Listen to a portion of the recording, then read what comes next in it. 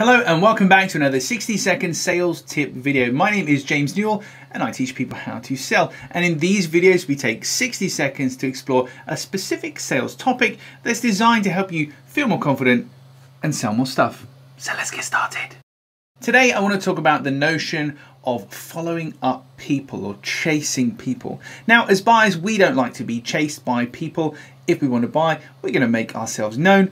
But when it comes to selling, we feel the need to follow up and chase people, even if perhaps they haven't come back to us at all after multiple contacts. Mostly because we're not really sure what else to do, and we might have been missold this notion of it takes 137 and a half times to follow somebody out.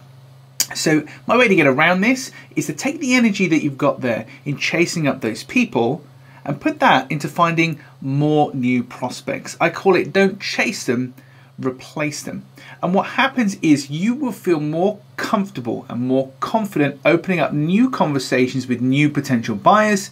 And the people over this way will feel much better that they haven't been chased endlessly. And if they are interested, they will reach back out to you. So if you feel like you're overly chasing people up and trying to push people to do things they don't want to do, don't chase them, replace them. Well, that's it for another 60 second sales tip video. If you enjoyed that, please hit the like button. And if you want to see more videos like this, hit the subscribe button and hit the notification bell. And if you really enjoyed it, then you might want to check out monthlySalesTraining.com where I will teach you how to sell.